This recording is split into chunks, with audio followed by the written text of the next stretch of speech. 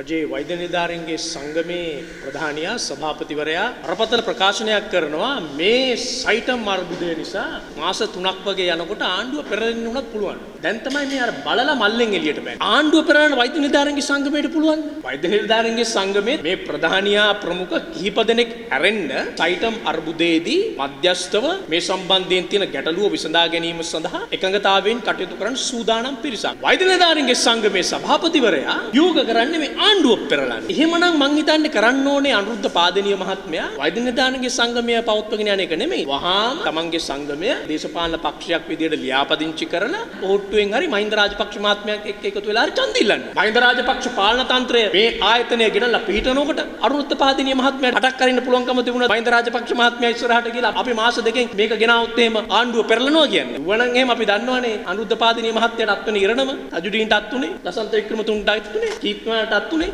මේ වෘත්තීය සමිතියකට අවශ්‍ය කරන විදිහකට තමන්ගේ වෘත්තිය රැක ගැනීම සඳහා තමන්ගේ ව්‍යාපාරය රැක ගැනීම සඳහා සටන් කරන කිහිප දෙනෙකුට බෑ ලක්ෂ 62ක ජනවරමින් පත් වුණු ආණ්ඩුවක් පෙරලන්න